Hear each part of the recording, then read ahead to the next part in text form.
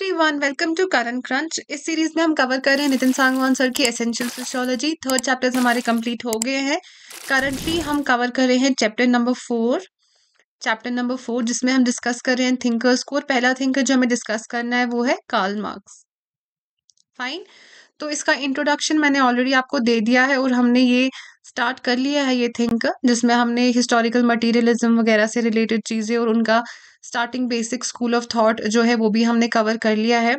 आगे चलते हुए हम देखते हैं हमें इस वीडियो में क्या करना है। मोड्स ऑफ़ प्रोडक्शन ठीक है? ये आपका मोड्स ऑफ़ प्रोडक्शन आज का टॉपिक है। एक वीडियो में मैं कवर कोशिश करूँगी एक टॉपिक कवर करने की ताकि आपके लिए ये जो है आप कंफ्यूज ना हो जाओ सारी चीज़ें एक साथ पढ़ के। तो मोड ऑफ़ प्रोडक्शन देखते हैं क्या होता है। देखो अगर सिंपल टर्म्स में देखो मैंने आपको पहले भी कहा कि हम कार्ल मार्क्स की थ्योरी को एवोल्यूशनरी थ्योरी कहते हैं, क्योंकि इन्होंने सोसाइटी आपको बताई इन टर्म्स ऑफ़ एवोल्यूशन कि सोसाइटी कैसे इवॉल्व हो गई अलग अलग स्टेजेस में। हर स्टेज में क्या हुआ, कोई प्रॉब्लम हो गई, लोगों के बीच में किसी चीज़ को लेके कोई कॉन्फ्लिक्ट अराइज हुआ और हम एक नई सोसाइटी में आ गए। इसको इन्होंने डायलेक्टिकल अप्रोच कहा।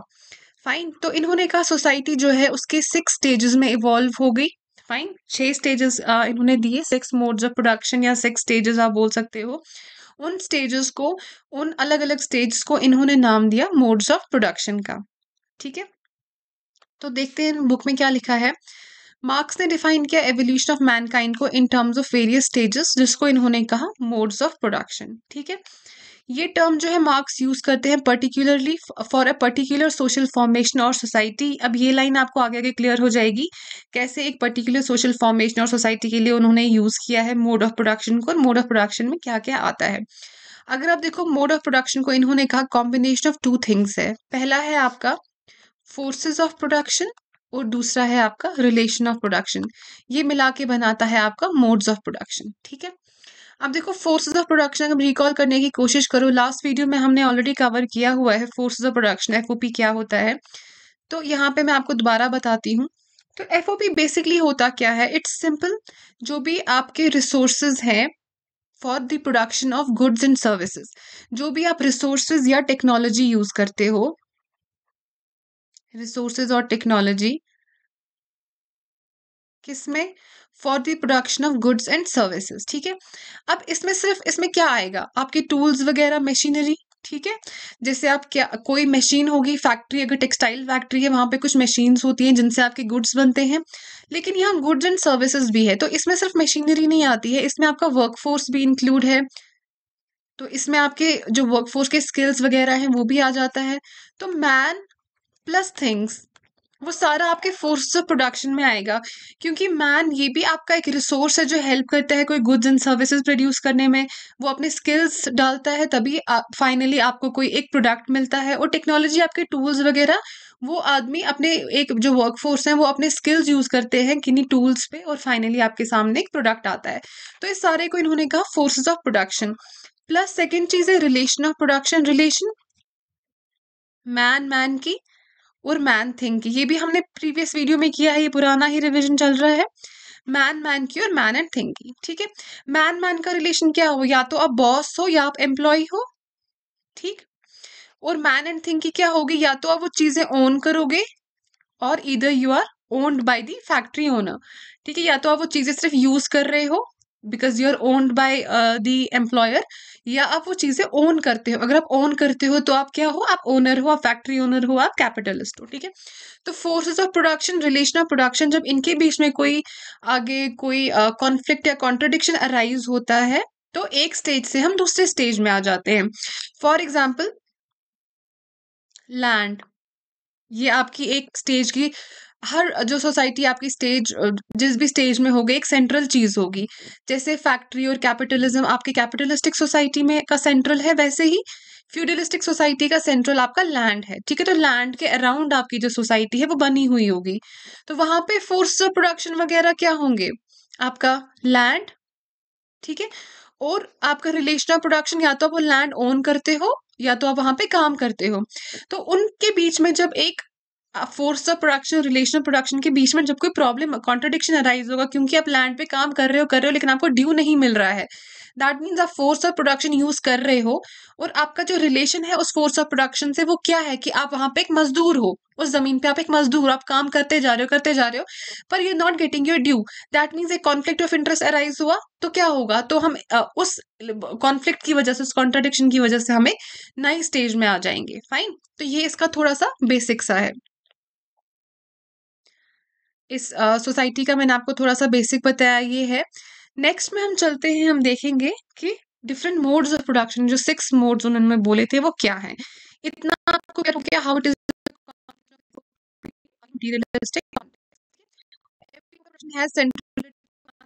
स्टेज में लैंड है तो किसी स्टेज में कैपिटल है फाइन सेंट्रल एक चीज़ होगी कोई। मतलब एक चीज़ इन द सेंस कि सेंट्रल जो आपकी सोसाइटी बिल्ड होगी अराउंड वो किसी एक बेसिक चीज़ पे होगी। जैसे लैंड पे है या आपकी uh, किस पे आपकी कैपिटल पे है कैपिटलिस्टिक सोसाइटी में। आगे देखते हैं मार्क्स ने कंसेप्चुलाइज किया in terms of six stages or six evolutionary modes of production. Every new mode of production displaces the earlier अब हर नया, एक नया मोड ऑफ़ प्रोडक्शन आ गया वन से हम टू पे आए टू से थ्री पे थ्री से फोर पे फोर से फाइव पे फाइव से सिक्स पे। क्यों? क्योंकि इन स्टेजेस में कोई वीकनेस होगी, उसी वजह से आप एक स्टेज से अगर दूसरी स्टेज में जा रहे हो, अगर आप वो स्टेज इतनी अच्छी है, आप वहीं रह जाओगे, अगर वो स्टेज परमानेंट है, जो उनके उनके अकॉर्डिंग आपकी सिक्स स्टेज है तो आप हमेशा के लिए वहीं रह जाओगे, लेकिन ऐसा नहीं होगा ना, क्योंकि आप वन से टू में आ रहे हो टू से थ्री में आ रहे हो तो क्यों आ रहे हो? क्योंकि उनमें कोई वीकनेस है, ठीक है? कोई प्रॉब्लम्स चल रही हैं उन स्टेजेस में, इस वजह से आप वो स्टेज चेंज कर रहे हो। इनहेरेंट वीकनेस है कॉन्ट्रोडिक्शन है क्लास स्ट्रगल है। इनहेरेंट वीकनेस है, तभी कॉन्ट्रोडिक्शन कॉन्फ्लिक्ट ऑफ़ इंटरेस्ट आता है, जिससे अगर हम एक स्टेज की बात करें, जिसमें लैंड सेंट्रल है फ्यूडलिस्टिक सोसाइटी ठीक है? उसका वीकनेस क्या है कि आप मजदूरों को एक्सप्लॉयट कर रहे हो, ठीक है? आपके सिस्टम में इक्वालिटी नहीं है, काफ़ी कॉन्ट्रोडिक्शन कॉन्फ्लिक्ट ऑफ़ इंटरेस्ट है फ्यूडल लॉर्ड्स और प्रेजेंट्स के बीच में। इस वजह से क्या आ जाता है? हम एक नई स्टेज पुरानी स्टेज को खत्म करके एक नई स्टेज में आ जाते हैं, क्योंकि अगर आप लोगों को एक्सप्लॉयट करोगे, वो किसी हद तक ही उस एक्सप्लॉयटेशन को लेंगे और एक टाइम आएगा जब वो चेंज हो जाएँगे मिलके, चाहे वो रिवोल्ट करें आपके खिलाफ या कोई प्रोटेस्ट करें, या आपके नए फोर्सेस ऑफ़ प्रोडक्शन आ जाए लैंड से अब आप दूसरी स्टेज में आ जाओ जहाँ लैंड इतनी इंपॉर्टेंट नहीं है, पैसा कैश ज़्यादा इंपॉर्टेंट है तो अकॉर्डिंगली आपकी स्टेज जो है वो चेंज हो जाएगी। अब हम आगे देखते हैं कौन कौन सी स्टेजेस की इन्हें बात की थी। इन्होंने कहा था one out of the six modes of production four are historical and two are futuristic ठीक है? पहले यहाँ देख लेते हैं। इनहेरेंट वीकनेस हो गया कॉन्ट्रोडिक्शन क्लास स्ट्रगल जब एक force of production relation production obsolete बन जाता है new one comes into picture और a revolution is often required to change the relation of production एक रिलेशन ऑफ़ प्रोडक्शन को चेंज करने के लिए रेवोल्यूशन चाहिए होता है हमें। ये भी मैं आपको सिक्स स्टेजेस एक्सप्लेन करने के बाद इस स्टेटमेंट का मीनिंग बताऊँगी। अब इन्होंने सिक्स मोड्स में फोर हिस्टोरिकल जो गुजर चुकी है फोर फ्यूचरिस्टिक जो आने वाली है, ठीक है? अब हिस्टोरिकल में पहले इन्होंने क्या कहा? पहले प्रिमिटिव कम्युनिज्म का टाइम था।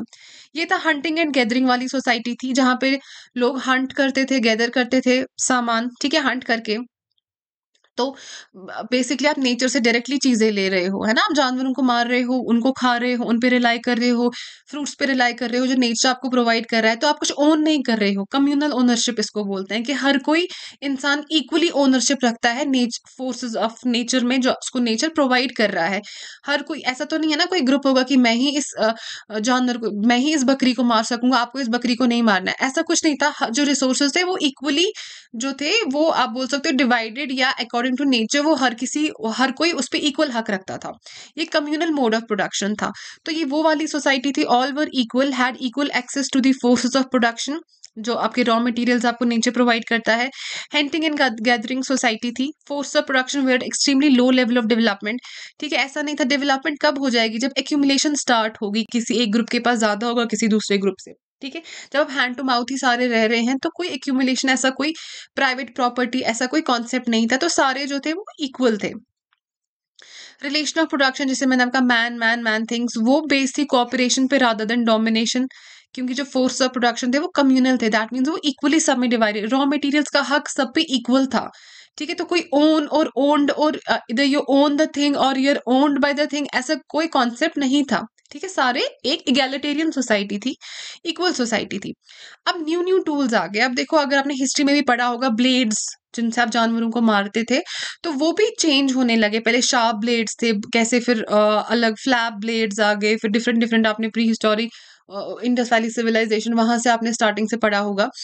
तो अब न्यू न्यू टूल्स आ गए तो फोर्सेस थोड़े सोफिस्टिकेटेड फोर्स ऑफ़ प्रोडक्शन मैंने आपको क्या कहा? Resource and technology that means कहीं ना कहीं एक प्रिमेटिव टेक्नोलॉजी एक लो लेवल ऑफ़ टेक्नोलॉजी आने लगी क्योंकि अगर आपको डिफरेंट ब्लेड्स की ज़रूरत है तो आपको डिफरेंट लोगों की ज़रूरत है जो वो ब्लेड्स बना सके। फाइन तो हल्का हल्का जो आपका कम्युनल स्ट्रक्चर था सोसाइटी का बिल्डअप वो अब टूटने लगा और एक प्राइवेट ओनरशिप आ गई।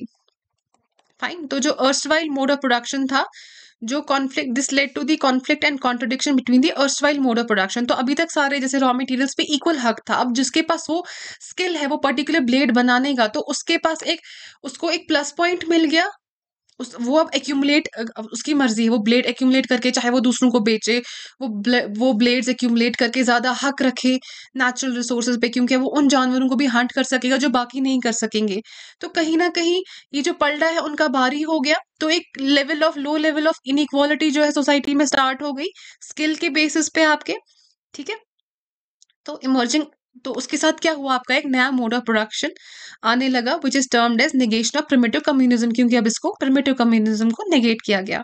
And those who held command over tools emerge as masters and those who became dependent who became dependent became slaves in the new mode of production क्योंकि अब जो उन टूल्स को बना सके और उनको अच्छे से यूज़ कर सके, उनके पास अथॉरिटी आ गई तो वो मास्टर्स बन गए। और उन मास्टर्स पे जो डिपेंड होने लगे फॉर एग्ज़ाम्पल एक ग्रुप है, वो वो ब्लेड्स बना रहा है तो उनको वो ब्लेड्स बनाने की टेक्निक पता है। तो अब उन ब्लेड्स के लिए बाकी लोग उन पर डिपेंडेंट रहेंगे कि प्लीज़ मुझे वो ब्लेड एक दिन के लिए दे दो, मुझे जाके हंट करना है। तो जहाँ पे प्लीज़ वाला फैक्टर आ गया और डिपेंडेंसी वाला फैक्टर आ गया, वो आपकी क्या बन गई स्लेव्स तो आप देख रहे हो कैसे हम एक इक्वालिटी एक इक्वल सोसाइटी से आहिस्ता आहिस्ता एक अनइक्वल सोसाइटी में आ गए। अब हम प्रिमेटिव से कहाँ पे आ गए? Ancient slave mode of production में। फाइन समझ गए इतना अगर आपको समझ में नहीं आ रहा है तो आप दोबारा एक बारी रिपीट करके लेक्चर स्टार्टिंग से सुनो, ये आपको क्लियर हो जाएगा।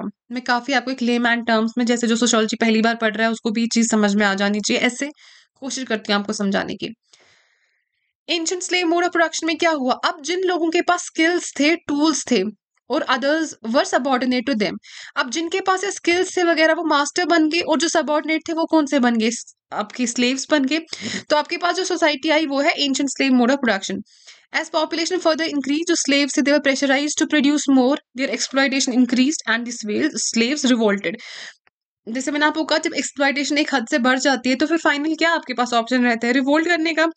तो new force of production emerge in the form of agriculture and feudalism also emerge अब देखो आप जब टूल्स आप बनाते गए बनाते गए, वैसे आपने वो टूल्स भी बनाए जिससे आपकी एग्रीकल्चर जो है वो आपका इजी होने लग गया। फाइन जब एग्रीकल्चर आपका इजी होने लगा उन टूल्स से, जैसे आप लैंड को जैसे प्लो करते हो, वो वाला टूल जब बनाया तो आपको पता चला कि लैंड पे आप चीज़ें उगा सकते हो तो लैंड आपका सेंट्रल बन गया। अब टूल्स की इंपॉर्टेंस नहीं रही, अब सिर्फ़ वो स्किल इंपॉर्टेंट नहीं रहा जो आप टूल्स बना सको, अब आपका लैंड इंपॉर्टेंट रहा, ठीक है? ब्लेड्स वाले वो सिर्फ़ टूल्स इंपॉर्टेंट नहीं रहे, अब मेन चीज़ आपकी क्या आ गई? लैंड अब जो आपके मास्टर्स थे, जिनके पास ऑलरेडी ये समझ थी रूल कैसे करना है, और उनके पास थोड़ा एक्यूमुलेट भी था मटेरियल वो बन गए आपके नए मोड ऑफ़ प्रोडक्शन में फ्यूडल लॉर्ड्स फाइन और जो इसमें स्लेव्स थे, वो आपके बन गए सर्फ्स या पेजेंट्स अगर आप इंडियन सोसाइटी में देखो तो ये जमींदार और ये है आपके मजदूर। ठीक है? अब society was divided into land owning feudal lords and landless serfs land जो था it was central to the economic activity और feudal lords were in control of land and serfs fine जो अर्स्ट वाइल मास्टर्स थे became feudal lords and controlling the started controlling land और जो slaves थे, वो कौन बन गए आपके सर्व्स सर्व्स आपका पेजेंट्स है आपके मजदूर। सर्व्स जो थे वो फ्री थे but they were force to cultivate on the land of feudal lords और उनको they had to pay tax and service which kept on rising तो उनकी जो एक्सप्लॉयटेशन की लेवल थी वो वो एक्सप्लॉयटेशन बढ़ती गई। Leading to the revolt of serfs ने भी क्या किया? फाइनली रिवॉल्ट किया। When the macho condition arrive जब उनको लगा कि हाँ अब एक राइट कंडीशन में है हम रिवोल्ट करने के तो दे रिवोल्टेड और अल्टीमेटली आपका एक न्यू मोड ऑफ़ प्रोडक्शन आ गया in the form of capitalism emerge with an increase in trade and erstwhile feudal lords became your capitalists and serfs became your uh, workers in the factories. ठीक है? अब क्या था? जो feudal lords थे वही आपके कैपिटलिस्ट बन गए क्योंकि उनके पास रिसोर्सेज थे उनके पास वेल्थ थी जो उन्हें एक्यूमुलेट की थी और जो सर्फ्स थे वो फैक्ट्रीज इसमें आपके वर्कर्स बन गए फैक्ट्री में आपके लेबर्स वगैरह। तो अब देखो जो अमीर क्लास है, वो चाहे वो रिवोल्ट ही कर रही है, चाहे उनके खिलाफ रिवोल्ट ही हो रहा है न्यू मोड ऑफ़ प्रोडक्शन आ रहा है तो basically new mode of production आपका क्यों आ रहा है? क्योंकि फोर्सेज ऑफ़ प्रोडक्शन आपके चेंज हो रहे हैं। जैसे जैसे फोर्स ऑफ़ प्रोडक्शन चेंज होगा, आपका अकॉर्डिंगली जो पुराने ये थे, जैसे मास्टर्स वो लॉर्ड्स फ्यूडल लॉर्ड्स बन गए फ्यूडल लॉर्ड्स आपके कैपिटलिस्ट बन गए, और जो कमज़ोर तबका था, वो कमज़ोर ही रह रहा है। फाइन इसी वजह से अभी तक क्या हुआ एक्सप्लॉयटेशन कंटिन्यू हो रही है। अभी तक हम एक डायलेक्टिक प्रोसेस में ही है। डायलेक्टिक प्रोसेस मैंने आपको कहा था, एक थॉट आ गया। फाइन उसका एक एंटी डेवलप हो जाएगा। फाइनली जब वो मिलेंगे, उनका सिंथेसिस हो जाता है और एक कंक्लूजन में एक, फिर से एक थॉट डेवलप होता है, एक नया थॉट कुछ टाइम के बाद उस थॉट का एंटी डेवलप होता है, उसका एक कंक्लूजन आ जाता है। और एक नया थॉट डेवलप होता है। कुछ टाइम के बाद उस थॉट का एंटी फिर से आ जाता है और सिंथेसिस में एक नया थॉट डेवलप होता है। इसको हम डायलेक्टिक प्रोसेस बोलते हैं और ये ऐसे साइक्लिक प्रोसेस की तरह कंटिन्यू होता जाता है। अभी तक वही हो रहा है। तो क्या हो रहा है? प्रिमिटिव से जब हम आई से इनइक्वालिटी में आ गए डायलेक्टिकल प्रोसेस आ गया कॉन्फ्लिक्ट ऑफ़ इंटरेस्ट आ गया, एक नई सोसाइटी इमर्ज हो गई। कुछ टाइम के बाद जैसे फ्यूडल लॉर्ड्स आ गए, उन्होंने भी वही करना शुरू किया। उन्होंने आपको एक्सप्लॉइट करना स्लेव्स को। मास्टर्स ने आपके स्लेव्स को एक्सप्लॉयट करना शुरू हो गया। एक फाइनली कंक्लूजन में एक नई क्लास आ गई फ्यूडल लॉर्ड्स की। कुछ टाइम के बाद फिर से कॉन्फ्लिक्ट ऑफ़ इंटरेस्ट इमर्ज हो गया फ्यूडल लॉर्ड्स के साथ। वो एक्सप्लॉयट करने लगे पेजेंट्स को और एक नई क्लास आ गई कंक्लूजन उनके सिंथेसिस के बाद कंक्लूजन के रूप में आपके कैपिटलिस्ट और कैपिटलिस्ट और उसका दूसरी क्लास कौन सी थी आपकी? लेबर क्लास और कुछ टाइम के बाद फिर से उनका कॉन्फ्लिक्ट ऑफ़ इंटरेस्ट डेवलप हो गया और आपके पास एक नई क्लास आ गई। ठीक है? अब अभी तक जो है कैपिटलिस्टिक मोड ऑफ़ प्रोडक्शन तक, यहाँ तक डायलेक्टिकल प्रोसेस कंटिन्यू हो रहा है क्योंकि नई नई क्लास आ रही है और कुछ टाइम के बाद फिर से नई क्लास जो है कॉन्ट्रोडिक्टरी बन रही है और एक स्ट्रगल जो है कॉन्टिन्यू हो रहा है। ये डायलेक्टिकल प्रोसेस कब एंड होगा? जब ये स्ट्रगल खत्म हो जाएगा और आपके पास फाइनली एक क्लास आएगी, एक स्टेज आएगा जो क्लासलेस सोसाइटी पे बेस्ड होगा। वो हम देखते हैं। According to Marx this is the current mode of production in this mode of production capital जो है वो सेंट्रल है to the production and society is primarily divided into have nots जिनको प्रोलिटेरियट बोलते हैं, आपके मजदूर एंड हैव जिनको बर्जुआ बोलते हैं, जो आपके कैपिटलिस्ट हैं, आपके फैक्ट्री ओनर्स हैं, ठीक है? तो इसमें क्या होगा? अब देखो, इसमें इनहेरेंट कॉन्ट्रोडिक्शन है। कैपिटलिस्टिक मोड ऑफ़ प्रोडक्शन में इसी के बाद क्यों रिवॉल्ट आ गया इतना बड़ा? और हम एडवांस्ड कम्युनिज्म में आ गए जहाँ क्लासलेस सोसाइटी है वो कैपिटलिस्टिक मोड ऑफ़ प्रोडक्शन में क्यों होता है? देखो, अगर जब आप एग्रीकल्चर लैंड पे काम कर रहे हो तो कहीं ना कहीं जो मजदूर है, चाहे वो एक्सप्लॉयड भी हो रहा है, उसको इन रिटर्न कम भी मिल रहा है, लेकिन वो लैंड से अटैच्ड है। उसको पता है, वो लैंड पे काम कर रहा है, वहाँ से उसको क्या मिल रहा है? राइस वीट जो वो उगा रहा है तो उसकी इमोशनल वैल्यू जो है, वो अटैच्ड है अभी भी लैंड के साथ। उसको पता है, मैं जिस लैंड पे काम करता हूँ, वही लैंड मुझे चीज़ दे रही है। फाइन लेकिन कैपिटलिस्टिक मोड ऑफ़ प्रोडक्शन में क्या हो रहा है? एलियनेशन की लेवल बहुत ज़्यादा बढ़ गई। एलियनेशन हमें आगे पढ़ना है, उसमें अभी कंफ्यूज नहीं हो जाना। सिंपल टर्म्स में देखो कैपिटलिस्टिक में क्या हो रहा है, जो कॉन्ट्रोडिक्शन है वो बहुत ज़्यादा बढ़ गए, क्योंकि अब मजदूर, अब देखो एप्पल की फैक्ट्री में एक मजदूर काम कर रहा है। वो आईफोन बनाने की फैक्ट्री में काम कर रहा है। वहाँ पे आपको पता है, जैसे मोबाइल वगैरह है, कोई भी हो वो असेंबल होते हैं, कहीं पे स्क्रीन बंद है, कहीं बैटरी बंद है, कहीं सॉफ्टवेयर कहीं हार्डवेयर तो जो एक बंदा स्क्रीन बनाने की कंपनी में काम करता होगा, वो सोचेगा एप्पल आईफोन अफोर्ड करने के लिए। वो कभी नहीं वो आईफोन अफोर्ड कर सकता है, जो कि इसकी वैल्यू लैक्स में आती है। फाइन तो जिस चीज़ पे वो काम कर रहा है, उस चीज़ को वो कभी अटैच ही नहीं है उसके साथ, क्योंकि वो कभी खरीद ही नहीं सकता है। तो कॉन्ट्रडिक्शन का लेवल बहुत ज़्यादा बढ़ गया कॉन्फ्लिक्ट का लेवल बहुत ज़्यादा बढ़ गया। अब इंसान काम भी कर रहा है डिप्रेस्ड भी है। एटलीस्ट पहले अगर आप लैंड पे काम कर रहे हो, लेकिन आपको पता है आप किस चीज़ पे काम कर आप लैंड पे काम कर रहे हो, आपको वही लैंड राइस देती है, वो राइस आप कंज्यूम कर रहे हो। तो कहीं ना कहीं आपकी जो इमोशनल वैल्यू है, वो वो इंटैक्ट है। लेकिन जब आप एक फैक्ट्री में काम कर रहे हो, आप ऐसी ऐसी चीज़ें बना रहे हो जो अमीरों के पास जाती हैं। तो आपकी कोई वैल्यू ही नहीं है उस चीज़ को लेके को लेके, क्योंकि आप वो चीज़ कभी एफर्ड ही नहीं कर सकोगे। फाइन तो इसमें जो इनहेरेंट कॉन्ट्रडिक्शन था एलिनेशन वाली फीलिंग थी कॉन्फ्लिक्ट था, वो बहुत ज़्यादा बढ़ गया था। तो इस वजह से क्या हुआ? इसी मोड ऑफ़ प्रोडक्शन के बाद एक रिवॉल्ट होगा और हम एक फ्यूचर सोसाइटी में आएँगे। करंटली उनके हिसाब से हम कैपिटलिस्टिक मोड ऑफ़ प्रोडक्शन में हैं। Workers lose control over their labour and they start feeling alienated alienated मतलब अभी के लिए सिर्फ़ समझो कि आप कट ऑफ़ फील करते हो। अपने काम से, आपने जो प्रोड्यूस किया है, उस चीज़ से, बाकी जो मजदूर हैं, उनसे आप सबसे कट ऑफ़ हो जाते हो। फाइन तो वो आपकी लाइफ बन जाती है। तो most significant contradiction that leads to class conflict in capitalist societies क्या है? Contradiction between the social character of the production and private form of appropriation क्योंकि आप इतना काम कर रहे हो, आपकी फैक्ट्री की टाइमिंग इतनी स्ट्रिक्ट है, उसके बाद आपको क्या, जो भी आपका प्रॉफिट है, वो सारा कौन ले जाता है? आपके कैपिटलिस्ट तो आपको क्या मिलता है? अगर कोई फैक्ट्री बहुत अच्छी चल रही है। वो अच्छी चल रही है उस सेंस से कहते हैं कि टर्नओवर कितना है प्रॉफिट कितना है तो वो किसके पास जाता है? अगर जियो कंपनी ज़्यादा अच्छी चल रही है टर्नओवर प्रॉफिट के अकॉर्डिंग तो वो अंबानी के पास जा रहा है। लेकिन जो जियो फैक्ट्री में काम करने वाला मजदूर है, उसके लिए क्या होगा? ज़्यादा ज़्यादा पे स्केल एक मंथ बढ़ गए, एक हज़ार रुपए, काफ़ी मंथ्स के बाद और पंद्रह सौ रुपए का रेज मिल गया। अगर मिलेगा तो। तो उनकी कंडीशन वैसी ही है। वो साथ में जो चीज़ें बना रहे हैं, उस चीज़ से उनका कोई लेना देना नहीं है। वो वो चीज़ें कभी खरीद नहीं पाएँगे एफर्ड नहीं कर पाएँगे। तो ना ही आपकी फाइनेंशियल स्टेटस बढ़ रहा है, ना ही आप इमोशनली अटैच हो अपनी चीज़ों से।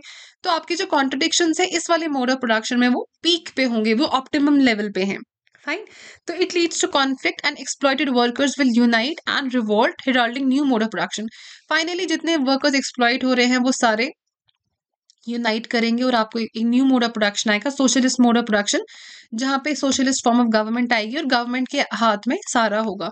तो ऐसा ऐसा गवर्नमेंट भी खत्म हो जाएगी और फाइनली आप किसमें आ जाओगे? एडवांस्ड कम्युनिज्म में जिसमें कौन आ, आ, कैसा रूल होगा? आपकी इगैलिटेरियन सोसाइटी होगी क्लासलेस सोसाइटी होगी। आगे देखते हैं मार्क्स ने मार्क्स ने टर्म किया था फ्यूडलिस्टिक एंड कैपिटलिस्टिक को एज नेगेशन ऑफ़ नेगेशन क्यों? क्योंकि इन्होंने पिछले किसी को नेगेट किया है और आगे ये खुद नेगेट होने वाले हैं और नए मोड ऑफ़ प्रोडक्शन में हमारी एंट्री होगी। As these modes of production negate, a mode of production which has itself negated another mode of production. Feudalistic ने किसको नेगेट किया? मास्टर स्लेव को? मास्टर स्लेव ने किसको नेगेट किया था? प्रिमिटिव कम्युनिज्म को? कैपिटलिस्टिक ने किसको निगेट किया? फ्यूडलिस्टिक को? फ्यूडलिस्टिक ने किसको निगेट किया था? मास्टर एंड स्लेव को? इसीलिए इसको निगेशन ऑफ़ निगेशन बोला जाता है। मार्क्स ने कहा फ्यूचर में चीज़ें सारी सही हो जाएँगी। उन्हें कहा था contradiction of history will end soon he is of the view that capitalism जो है इनहेरेंटली अनस्टेबल है and soon it will be replace by the other modes of production क्यों इनहेरेंटली अनस्टेबल है? क्योंकि जो क्लास स्ट्रगल है वो सबसे ज़्यादा इसमें होगा। और हैव नोट्स है will get their due have nots कौन हो गया आपके? Proletariats according to him the future stages in the dialectical process will be अभी तक जो डायलेक्टिक है वो कंटिन्यू हो रहा है। सोशलिस्टिक मोड ऑफ़ प्रोडक्शन एक ट्रांजिटरी मोड है, जहाँ पे प्रोलिटेरियट है, वो टॉपल करेंगे बर्जुआ को रेवोल्यूशन में और कंट्रोल करेंगे force of production that means government किसकी होगी? प्रोलिटेरियट्स की होगी। इनके हाथ में सारा कंट्रोल आ जाएगा। फाइनली क्या होगा? एडवांस्ड कम्युनिज्म में हम आएँगे। It is the final mode in which जो force of production communally will be communally owned first primitive communism की तरफ़ एडवांस कम्युनिज्म में आएँगे। And there will be no class in society. According to Marx this will be the last mode of production और यहाँ पे dialectical process जो है वो खत्म हो जाएगा। As the contradiction will be resolve in this mode and hence there will not be any new unequal relation of production क्योंकि जब मजदूरों के हाथ में ही आपका सारा सिस्टम आ जाएगा और एक क्लासलेस सोसाइटी स्टैब्लिश हो जाएगी, इसके बाद कोई स्कोप नहीं है, दोबारा फिर से क्लास बेस्ड सोसाइटी में जाओ। कलेक्टिव प्रोडक्शन विल रिमेन और जो क्वालिटेटिव नेचर ऑफ़ रिलेशन है will be transformed and ownership will also be now collective अब सारा कलेक्टिव होगा। पहले क्या होता था? Private form of appropriation that means कुछ चंद लोगों के पास प्राइवेट एक्यूमुलेशन ऑफ़ वेल्थ था। अब वो नहीं होगा। अब कम्युनली ओन्ड होगा। जो भी प्रॉफिट होगा, वो कलेक्टिव होगा। वो सबका प्रॉफिट इक्वल डिस्ट्रीब्यूट होगा सब में। Dialectical principle will be ceased, will cease to operate in this mode of production and this stage will be a closing chapter in the dialectic. Materialism यहाँ पे डायलिटिकल मटीरियलिज्म आपका and हो जाएगा किसमें? Advanced communism में। Thus Marx dynamic model of society is based upon following proposition अगर आप उसको कंक्लूड करो तो क्या है? एक कॉन्टिन्यूस चेंज होगी relation of R O P और एफ़ ओ पी में relation of production force of production में जैसे जैसे आपकी मटेरियल कंडीशन चेंज होती जाएँगी। Continuous struggle between two classes till capitalism और इसका रेजोल्यूशन किसमें आएगा आपको? सोशलिज्म एंड देन कम्युनिज्म में। ठीक है?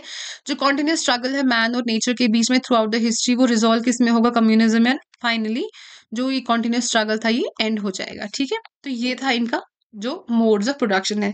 अभी जो कॉन्फ्लिक्ट है क्लास कॉन अभी हमने वो नहीं बताया, वो सारा वो रिवोल्ट वगैरह कैसे होगा? कैपिटलिज्म में ऐसा क्या होगा जो रिवोल्ट होने वाला है? वो हमें आगे पढ़ना है, वो हम कैपिटलिज्म इसमें क्लास कॉन्फ्लिक्ट थ्योरी है, इसमें आगे, वो उसमें पढ़ेंगे। अभी अभी कंफ्यूज नहीं हो जाना, मैं अभी सिर्फ़ आपको मोड्स ऑफ़ प्रोडक्शन एक्सप्लेन कर रही हूँ, कैसे हम एक मोड ऑफ़ प्रोडक्शन से दूसरे मोड ऑफ़ प्रोडक्शन में आ जाएँगे, ठीक है? तो यहाँ तक आपको क्लियर हो गया। तो अगर क्विक रिविजन करें, पहले हमारे पास कौन सी सोसाइटी थी? प्रिमेटिव कम्युनिज्म फिर आगे हम एशियटिक फिर आगे हम सॉरी मास्टर स्लेव में, फिर फ्यूडलिस्टिक में, फिर कैपिटलिज्म फोर्थ फिफ्थ आपका सोशलिस्टिक एंड सिक्स आपका एडवांस्ड है। फाइन तो हर किसी में एक स्ट्रगल एक कॉन्फ्लिक्ट कॉन्ट्रोडिक्शन आ गया, जिसकी वजह से आपकी जो एक क्लास थी न्यू मोड ऑफ़ प्रोडक्शन में आ गए और जो आपके पुराने जैसे मास्टर्स थे, वो फ्यूडल लॉर्ड्स बन गए। फ्यूडल लॉर्ड्स आपके कैपिटलिस्ट बन गए। स्लेव्स आपके पेजेंट्स बन गए या सर्फ्स और वही आपके आगे जाके वर्कर्स बन गए। ठीक है तो ये एक मोड ऑफ़ प्रोडक्शन था जो किसने दिया था? कार्ल मार्क्स ने। अब यहाँ पे मैंने आपको कहा था लाइन आपको लास्ट में समझ में आएगी। Revolution of an required to change the relation of production ठीक है, उसके बाद रिवॉल्ट करेंगे और हम नए मोड ऑफ़ प्रोडक्शन में आ जाएँगे। वो रिवॉल्ट मास स्केल का किसमें होगा? कॉन्ट्रडिक्शन कैपिटलिस्टिक में, क्योंकि उसमें कॉन्ट्रडिक्शन बहुत हाई लेवल का था पीक ऑप्टिमम अब इसका क्रिटिसिज्म देख लेते हैं। General criticism, futuristic communist utopia never arrived even in communist countries. Communist countries में भी ऐसा कुछ नहीं हुआ। आपको पता है यूएसएसआर फॉल ऑफ़ यूएसएसआर इसकी बहुत बड़ी एग्जांपल है कि कम्युनिस्ट कंट्री वैसे नहीं टिकी जैसे उनको अज्यूम किया गया था कि वो रहेंगी। और एक ये है कि एशियटिक मोड ऑफ़ प्रोडक्शन भी एक आया था which run counter to his generalize mode of production थी। इन्होंने एक जनरलाइज आपको मोड ऑफ़ प्रोडक्शन दिया था, लेकिन उसका एक काउंटर रन करता है एशियटिक मोड ऑफ़ प्रोडक्शन जहाँ पे कैपिटलिज्म वैसे नहीं आया। जैसे फ्यूडलिज्म को खत्म करके सीधे कैपिटलिज्म में वैसे हम नहीं आए। फाइन तो उन्होंने दो ऑलरेडी खुद ही कहा था कि एक एशियटिक मोड ऑफ़ प्रोडक्शन भी है, लेकिन कहीं ना कहीं ये एक आपको, आप इसको एक क्रिटिसिज्म बोल सकते हो, क्योंकि वो उनके जनरलाइज मोड ऑफ़ प्रोडक्शन से हटके था। It was referred by Marx to explain the stagnation of the oriental societies oriental आपकी Asian Asian eastern and south eastern Asian societies उनको ओरिएंटल सोसाइटीज बोलते हैं। ये डिपार्चर था from his dialectical materialistic and evolutionary conception ठीक है? उससे इन्होंने हटके इसका एक आप बोल सकते हो एक्सेप्शन दिया था to his mode of production तो जहाँ पे उन्होंने एक, खुद ही एक एक्सेप्शन दे दिया तो कहीं ना कहीं आप उसको क्रिटिसिज्म में लिख सकते हो। क्योंकि सिंपल मेथड्स प्रोडक्शन मेथड्स थे इसमें एशियटिक मोड ऑफ़ प्रोडक्शन में। डिस्पोटिक रूल काइंड रूल था सेल्फ सफिशिएंट विलेजेस थे। एब्सेंस ऑफ़ प्राइवेट प्रॉपर्टी थी economy based on handicraft and agriculture absence of autonomous cities थी, ये आपकी इंडियन सोसाइटी यहाँ पे एक्सप्लेन कर रहे हैं। कोई प्राइवेट प्रॉपर्टी नहीं थी there was no class struggle नहीं था। जैसे इन्हें फ्यूडलिस्टिक सोसाइटी में कहा एक क्लास स्ट्रगल होगा। As the societies lacked in dynamics of class struggle little hope थी कि कोई रेवोल्यूशन आएगा, क्योंकि उस तरीके का क्लास स्ट्रगल नहीं था जिस तरीके का इन्होंने अपनी मोड्स ऑफ़ प्रोडक्शन में कहा था एक क्लास स्ट्रगल होगा। यहाँ पे नहीं था तो ऑब्वियसली ऐसा कोई रेवोल्यूशन बनने के लिए जो आपके एक्सप्लॉयटेड क्लास है, उनका यूनिटी होना एक यूनिफाइड फॉर्म में आना ज़रूरी था। तो जब एक्सप्लॉयटेशन ही उस लेवल का नहीं था तो उनके बीच वैसा कोई यूनिफाइड फॉर्म या यूनिफाइड रिवॉल्ट स्ट्रगल जो था, वो एग्जिस्ट नहीं करता। हाउएवर इस मॉडल को क्रिटिसाइज किया जाता है for being an overall misfit in his wider dialectical schema of the Marx also failing to represent the actual oriental society of these days तो ना ही इन्होंने एक्चुअल ओरिएंटल सोसाइटी को रिप्रेजेंट किया, और ये ओवरऑल कहीं फिट नहीं होती थी, उन्हें जो जनरल अपना स्कीमा दिया था। मोड्स ऑफ़ प्रोडक्शन का उसमें भी।